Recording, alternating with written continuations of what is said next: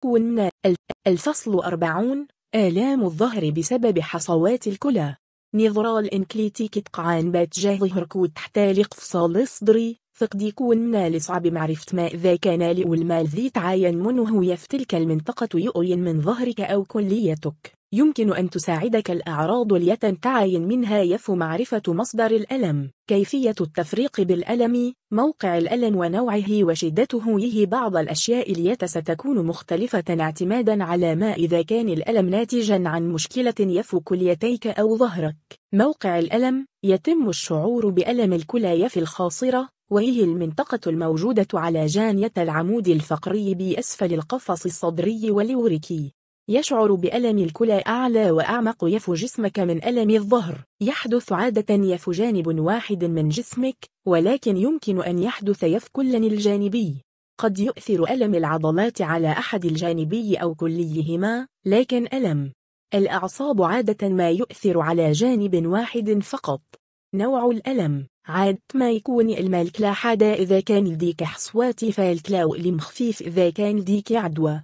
لنزداد الإمر سوء مع الحركة ويختيف من إطلاق إنفسه دون علاج. يفحي إن آلام الظهر بسبب طال هي كلال عضليتي تبدو كأنها المباهت إذا أصيب العصب أو تهيج فإن الألم هو إحساس حارق حاد قد ينتقل إلى أسفل الأرداف إلى أسفل ساقك أو حط قدمك. إشعاع الألم.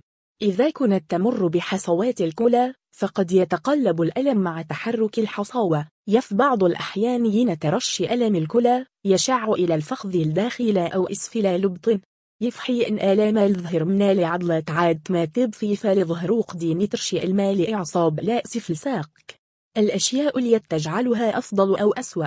عادة لا رش يجعل لأولمي أفضل حتيت متصحيحة لمشكل مثل تمرير الحجر.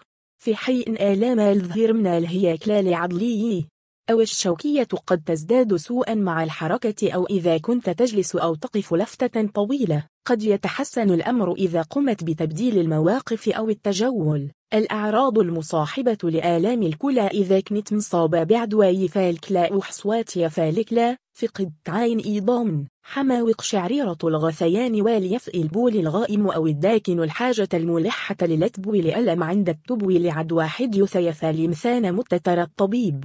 بمجرد تحديد ما إذا كان الألم قادما من ظهرك أو كليتيك فكر يف زيارة طبيبك للتقييم والعلاج. يجب أن ينظر إليك دائما إذا كنت تعتقد إن ديك عدوى فالكلا أو حصوات الكلا علاج آلام الكلى.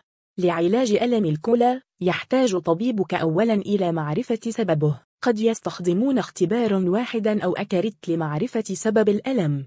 تشمل هذه الاختبارات. اختبارات البول لفحص البول بحثا عن الدم والتوتوية ولكثة من خلايا الدم البيضاء وغتها من علامات مشاكل الكلى المحددة. فحص بالموجات فوق الصوتية أو التصوير المقطع المحوس للبحث عن حصوات الكلى أو غطها من المشاكل الجسدية فالكلا والمسالكة البولية الحل الوحيد هو أن يصف الطبيب مسكنات الألم وأحيان السوائل بينما تمنح نفسك الوقت لتمرير الحجر. ومع ذلك هناك مضادات حيوية لالتهابات الكلى وكذلك العلاجات المتلية. تشمل العلاجات المتلية استخدام الحرارة في المنطقة التي تشعر فيها بعدم الراحة والحفاظ على رطوبتك وتناول مسكنات الألم. المضادة عند الحاجة. أفضل نصيحة للحفاظ على صحة الكلايه ممارسة الرياضة والحفاظ على رطوبة الجسم خاصة يفي الطقس الدائف أو عند ممارسة الرياضة والحفاظ على وزن صادح والإقلاع عن التدخين.